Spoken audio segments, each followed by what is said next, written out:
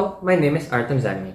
I was born in Kiev, Ukraine, but live and study in Bulgaria. I'm 17 years old. I'm a student of Konstantin Preslavsky National Communitarian High School in Varna. I am always curious and ready for new experiences such as this one.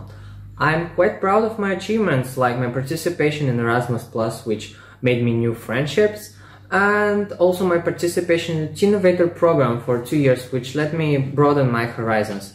I've also won two times And as well as participation in the Innovate Expo which is held every year in Varna.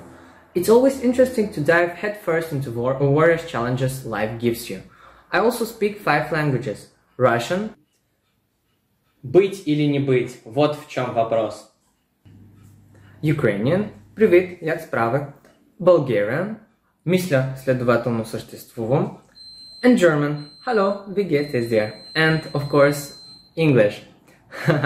well, this is not all, but I'm afraid my time is short. I hope you liked this video. Have a nice day.